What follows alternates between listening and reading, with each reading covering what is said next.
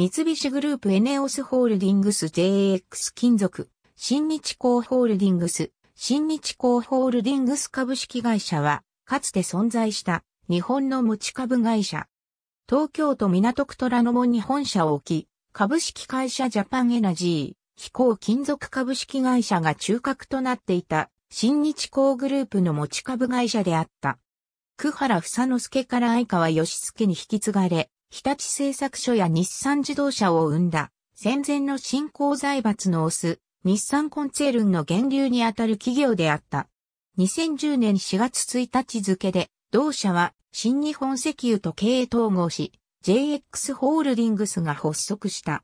このため、JXHD 発足から3ヶ月間は、中間持ち株会社となっていた。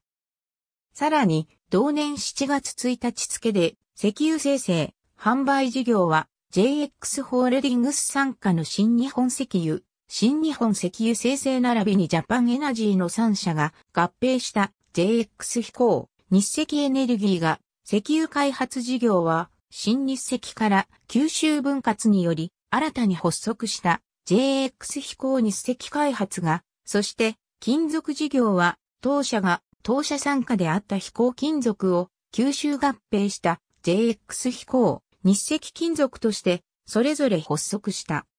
新日興ホールディングスは日本工業株式会社の流れを組む石油元売り大手の株式会社ジャパンエナジーと同精錬国内首位の飛行金属株式会社の持ち株会社として2002年9月に発足した。なお、両社はもともと日本工業の石油事業と金属事業が分離したものである。日本工業は明治期、日立銅山を拠点とする、久原工業に橋を発し、現在の日立製作所や日産自動車を派生、昭和初期にこれらを包括する持ち株会社、日本産業を設立して、新興財閥化した。戦後解体後は単独企業に戻ったが、新たに石油事業を急拡大。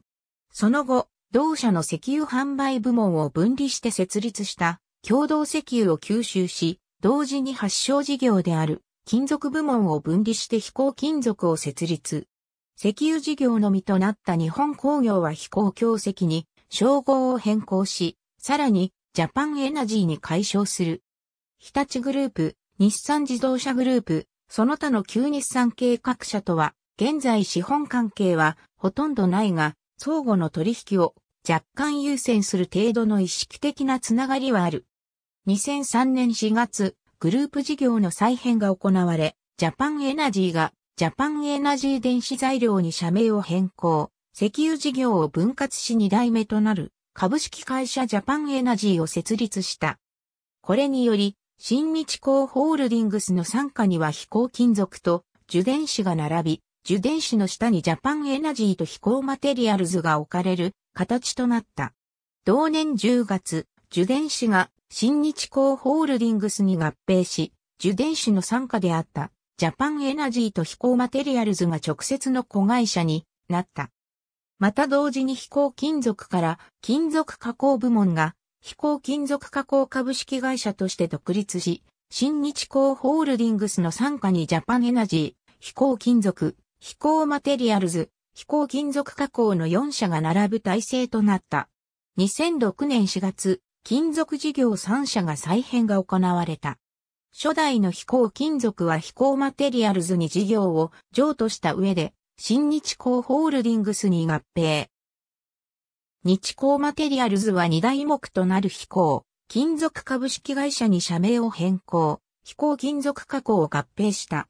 この結果、グループの企業は石油事業のジャパンエナジー、金属事業の飛行金属の2社となった。一時期コンビニエンスストアの AM、PM を子会社として展開。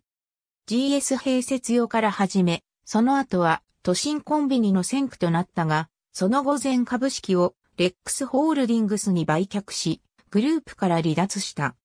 2008年12月4日、石油元売り首位の新日本石油株式会社との間で経営統合の覚書を締結し、その旨を発表。2009年10月30日には、新日本石油との経営統合契約を締結した。2010年4月1日に共同で株式移転を行い持ち株会社 JX ホールディングス株式会社を設立、その参加子会社となる形で経営統合し JX グループが発足した。これに伴い、新日港ホールディングスは中間持ち株会社となった。さらに同社は2010年7月1日に飛行金属を吸収合併し、存続会社として事業会社へ転換し、JX 飛行、日赤金属株式会社となった。本社として利用していた新日港ビルは経営統合完了後、虎ノ門ツインビルディングに改称されている。ありがとうございます。